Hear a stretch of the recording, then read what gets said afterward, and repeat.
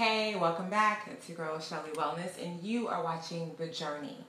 So, listen, if you've been following the series from the beginning, then you know this entire journey was really about getting myself back to a place of wellness. I had been experiencing depression, and I was just needing to heal. And one of the things on this journey that was really important to me was to spend my days doing exactly what I wanted not what I had to do, not what I needed to do, not what I should be doing, but what I wanted. So today was all about that. Let's take a look. Today we're headed to the Dutch side of the island, Philipsburg, but before we go, I have to spend a little time in nature.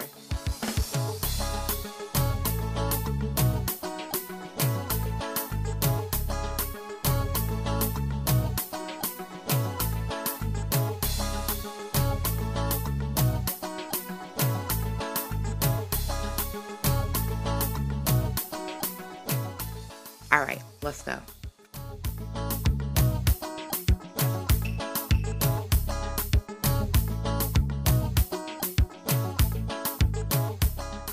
When I first got here, I found this artisan market, so I walked through it a bit and just kind of checked out the local vendors.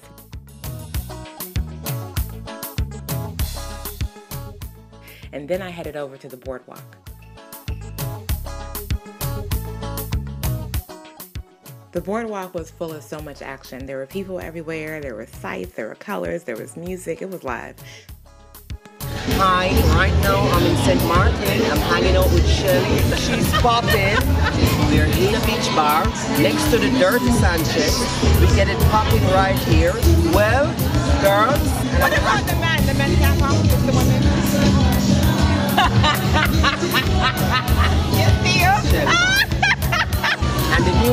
Is. After fooling around with him, I decided to go check out the rest of Philipsburg. Oh, caught your girl in the mirror. Hair, check. Face, check. Spirit, check.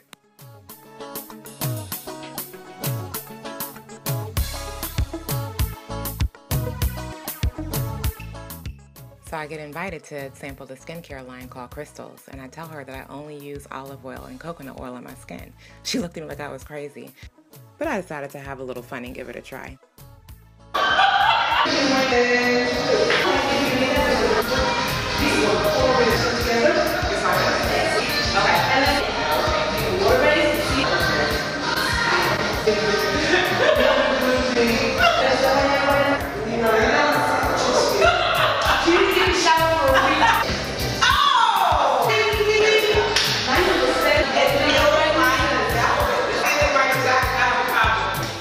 Things in St. Martin start closing around 6 p.m., so it's time to catch a bus and head back to the French side for dinner. Yay!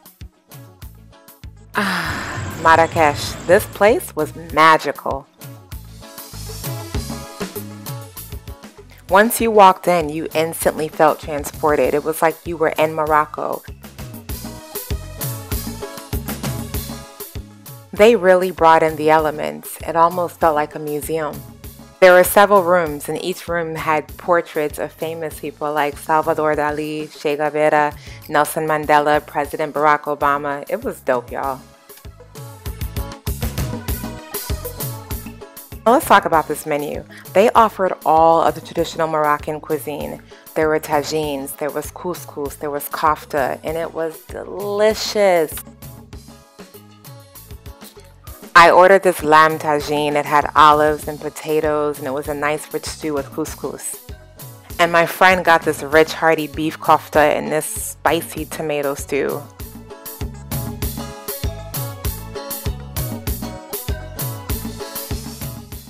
Thank you, Marrakesh. You made my night. You were everything. Make sure you check out the next video. We're going to explore Marigot, take in the bay at Fort Louis, and eat something sweet. Thanks for watching, you guys, and be sure to subscribe to the YouTube channel so you can stay notified when I release the next episode. See you soon!